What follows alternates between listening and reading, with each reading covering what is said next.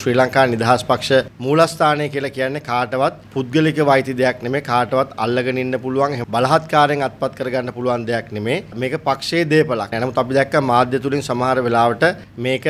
අපේ කණ්ඩායමට දෝෂාරෝපණය වෙන පරිදි යම් යම් ප්‍රකාශනිකුත් කරා මේක අල්ලගෙන ඉන්නවා වහගෙන ඉන්නවා කියන එක අපි තාමත් පැහැදිලිව කියනවා බලහත්කාරයෙන් අල්ලගෙන ඉන්න ඕර එහෙම නැත්නම් මංකොල්ල කන්න පුළුවන් දේපලක් නෙමෙයි ශ්‍රී ලංකා නිදහස් පක්ෂයේ පක්ෂ මූලස්ථානය කියන්නේ. ඒ අනුව අපි අපට ඉඩ ලැබිච්ච වහාම අපි ශ්‍රී ලංකා නිදහස් පක්ෂය නැවත වතාවක් පක්ෂ මූලස්ථානයේ සක්‍රීය පක්ෂ මූලස්ථානයක් බවට පත් කරන්න අද අපට පුළුවන්කම ලැබුණා. ශ්‍රී ලංකා නිදහස් පක්ෂය පහුගිය කාලය තුල ඒ වගේම අද්දිනේටත් යම් අධිකරණ කටයුතු වල නියැලී සිටින නිසා අපි කල්පනා කරා අපි හැබෑම මැයි දිනේ තියෙන්නේ කම්කරුවන්ට නම් අපි අද්දිනේදීත් ඒ වගේම මීට ප්‍රථමත් ශ්‍රී ලංකා නිදහස් පක්ෂයට අනුබද්ධ කම්කරු සංවිධානය මත වෘත්තීය සමිතියත් එක්ක අපි සාකච්ඡා කරලා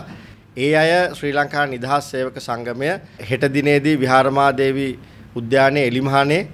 රැස්වීමක් පවත්වනවා. කම්කරු සියලු කම්කරු ටික එකතු වෙලා කම්කරු සංවිධානය එකතු වෙලා වෘත්තීය සමිතිය එකතු වෙලා